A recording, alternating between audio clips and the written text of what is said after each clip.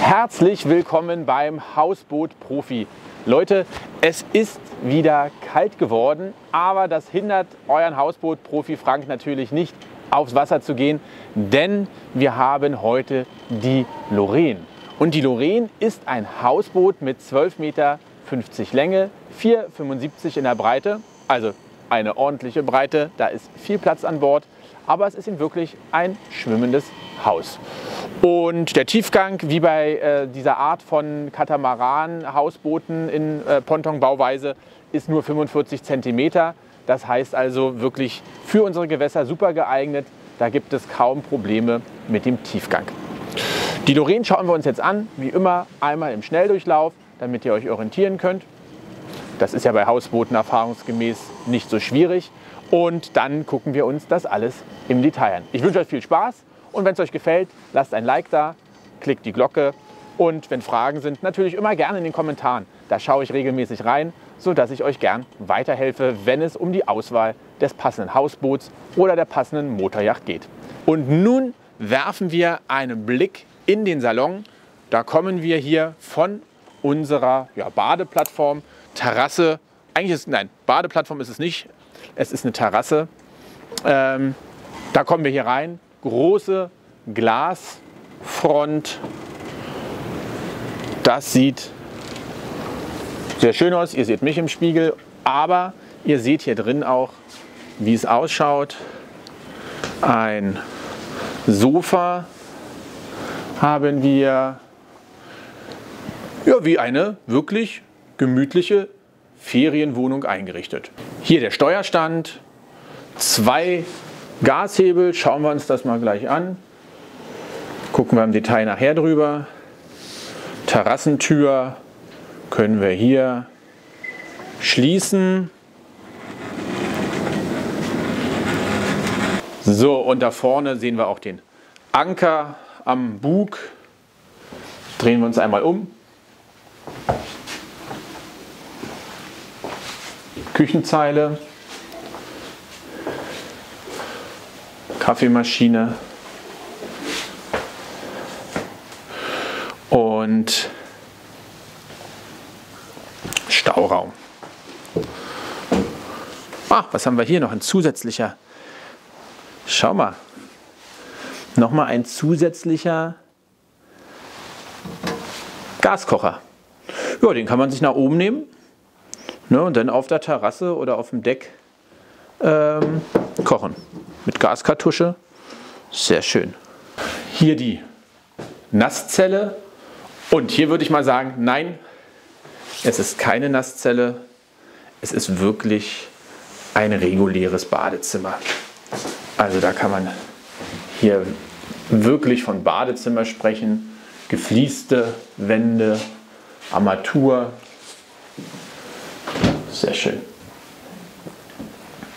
Das haben wir. Und wenn wir uns drehen, ja, dann schauen wir hier auf den Hafen raus und haben am Heck nochmal eine Badeplattform dann tatsächlich. Schauen wir uns gleich an. Gehen wir zurück.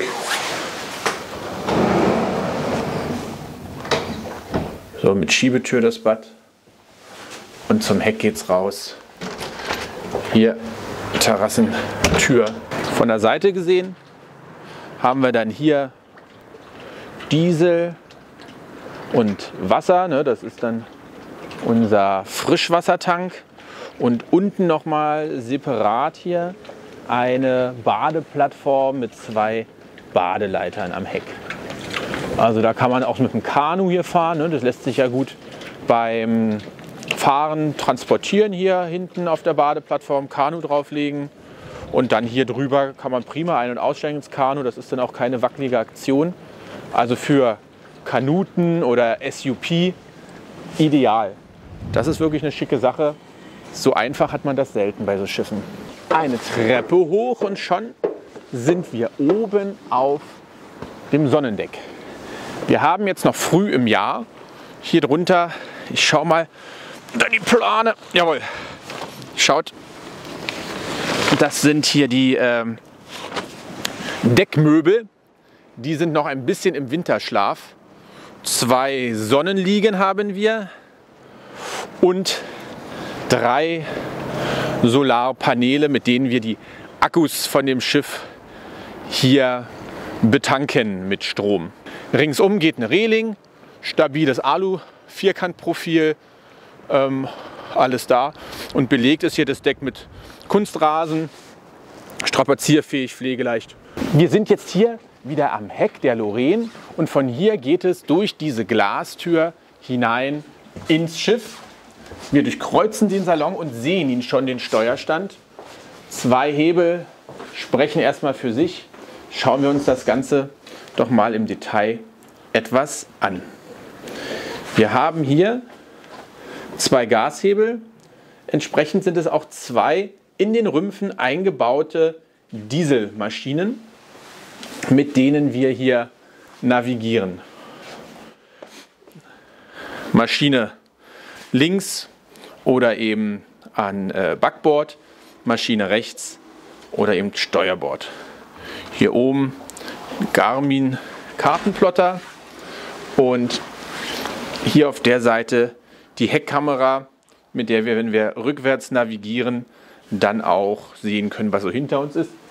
Wobei ich sagen muss, ich drehe mich mal kurz um, ist es äh, schon, also so einen gewissen Eindruck bekommt man schon nach hinten. Also durch die Tür ne, kann man schon ein bisschen, wenn man sich hier hin und her bewegt, seht ihr das ja, kann man sich ein bisschen äh, einen Eindruck verschaffen. Ah, was ich auch sehe, die Seitenfenster hier, schaut mal, die kann man. Ne? Also da haben wir dann auch riesige Fenster und viel Luft und das Ganze auch, äh, pardon, ich lenke jetzt ab, aber das fällt mir gerade auf hier, auch an der anderen Seite. Also auch hier können wir äh, das Fenster öffnen und haben dann wirklich viel Luft hier drin. Und sowieso ne, diese riesigen Glasfronten, also wenn man da auf dem See liegt, wow. Ich gehe hier mal hin, dann können wir hier mal hoch oder von unten nach oben gehen.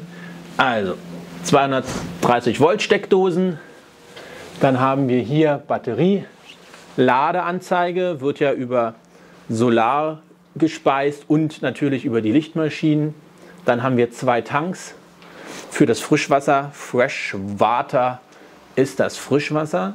Rechter Tank, linker Tank. Zeigt uns das an. Steuerrad natürlich. Und auf der anderen Seite haben wir dann hier unsere Hauptschalter. Das ist Ankerlicht, Navigationsbeleuchtung, Deckbeleuchtung, Wasserpumpe natürlich immer separat zu schalten. Ähm, Nochmal eine Wasserpumpe, ne? rechter Tank, linker Tank. Und dann haben wir noch die Instrumenten. Und wenn wir oben schauen, da waren wir ja gerade eigentlich abgebrochen, haben wir Füllstand für die zwei Maschinen. Rechts, links der Diesel die haben äh, ja, 26 PS, also sind jetzt keine übergroßen Maschinen, ist auch nicht nötig, aber dadurch, dass es natürlich für so einen, so einen wenig Tiefgang, wenig Verdrängung, kann man mit denen schon ordentlich was machen. Und zur Sicherheit oder fürs Navigieren auf engstem Raum dann hier auch nochmal zusätzlich ein äh, Bugstrahlruder. Also eigentlich braucht man es ja nicht, wenn man jetzt zwei Maschinen hat, da kann man schon mit den Maschinen auf dem Teller drehen. Aber schadet ja nicht. Ja, und letztendlich hier noch ein roter Knopf. Das gibt dann Schallsignal. Da haben wir dann alles beieinander. Unser Radio mit hier äh, USB-Anschluss für den MP3-Player. Und was ist das hier? Das ist die elektrische Ankerwinch. Ne? Hoch, runter. Eigentlich ganz einfach. Und die ist hier auch sehr gut angebracht, weil wenn wir jetzt von hier gehen, also dann kann man so ein bisschen mal drehen und schon haben wir hier drüben den Anker. Ne? Und da ist die Winch mache hier mal auf. So, ne, da seht ihr den Anker. Hier ist die Ankerwinch. Der Anker direkt mittig vorne mit der Kette ist er hier drauf. Hier haben wir auch ein Sofa und das ist ein Schlafsofa, was man nutzen kann für zwei zusätzliche Schlafgäste. Aber die regulären Schlafplätze, die befinden sich an Backbord am Heck und da schauen wir jetzt mal rein. Die Achterkabine im Heck, sehr hell und gemütlich eingerichtet. Ja, skandinavischer Stil, zwei Leseleuchten, ein reguläres Doppelbett mit Lattenrost drunter. Da, ah, da sind auch die Rettungswesten, schaut, unterm Bett. Lattenrost, sehr schön. Guckt mal hier mit Härte, verstellbar und so weiter. Alles da. Jetzt habe ich es hier ein bisschen auseinandergerutscht. So. Und auf der anderen Seite großes Fenster. Und am Heck eine eigene Tür. Es kann alles verdunkelt werden mit Vorhängen. Und wir haben hier auch einen Mückenschutz vor. Also wir können dann auch lüften, wenn das notwendig ist. Und das Fenster öffnen, auch bei Mücken. Wer jetzt an Bord hier übernachtet hat und nicht in den See springen will, dem steht auch ein Badezimmer zur Verfügung, direkt gegenüber. Es hat eine Schiebetür, praktisch und platzsparend.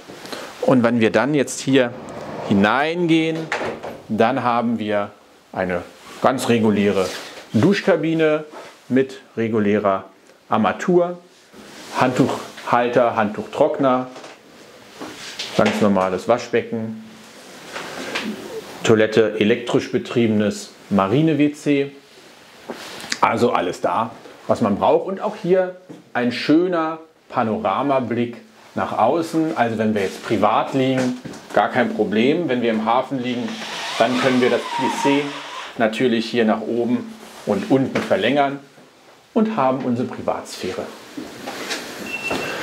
Das Boot ist ja insgesamt für vier Personen plus zwei zugelassen oder empfohlen. Und deswegen haben wir hier nebenan gleich die zweite Kabine. Hier sind die Betten getrennt voneinander aufgestellt rechts und links mit einem Gang dazwischen. Also so hat man an Bord die Wahl, entweder Doppelbett oder zwei separate Betten. Auch hier große Fensterfront, Mückenschutz, Verdunklung, alles da. Und hier können wir auch mal die Lüftung uns anschauen. Da gehe ich hier mal nach unten für euch. Dann haben wir hier die Heizung einstellbar und am Ende hier ganz unten dann die, äh, den Luftaustritt für die Warmluftheizung. Also insgesamt ist das Boot mit einer Warmluftheizung ausgestattet. Treten wir hier aus der Kabine, sind wir direkt in der Küchenzeile und da finde ich gleich schon ein schönes Detail. Das ist der Geschirrspüler. Also das finde ich natürlich immer klasse, wenn auf dem Hausboot auch ein Geschirrspüler ist. Ne? Wer wäscht schon, schon gerne selber sein Geschirr? Geschirrspüler Großartige Sache. Schränke, kurzer Check. Ja, haben wir alles da. Gläser, Becher, Teekanne, Kaffee, Filter, alles an Bord. Oben drüber Kaffeemaschine, äh, Thermoskanne und hier haben wir den Kühlschrank. Grill, der steht natürlich nicht hier normalerweise, sondern auf dem Sonnendeck und hier haben wir dann Kochgeschirr, Teller etc. Oben drüber ist das die Schublade mit, genau, ja, was wir so brauchen. Und ein zwei Flammen, naja, ein zwei Kochstellen äh, Induktionskochfeld. Da können wir schnell und heiß kochen. So Freunde, das war die Lorraine ich hoffe, es hat euch gefallen. Wenn ja, lasst gerne ein Like da und abonniert unseren Kanal. Und wenn Fragen sind, gerne in den Kommentaren. Ich schaue da regelmäßig rein und helfe euch gerne weiter. Die Doreen kann ich wirklich empfehlen für zwei Paare. Ein tolles Hausboot für Familie mit Kindern oder auch für Enkelkinder mit ihren Großeltern. Weil wir haben ja diese typische Bauweise auf einer Ebene, sehr barrierearm oder barrierefrei sogar, wenn man sich hier nur auf einer Ebene bewegt. Und wir haben eine Terrasse am Bug und eine am Heck. Also wir können wirklich den Urlaub auf einer Ebene sehr barrierefrei, wunderbar in der Natur auf dem Wasser verleben. Und man muss ja nicht aufs äh, Sonnendeck gehen um dieses Schiff zu genießen. Ich freue mich, wenn es euch gefallen hat und ich hoffe, wir sehen uns bald wieder. Euer Hausboot-Profi Frank. Bis dann. Ciao.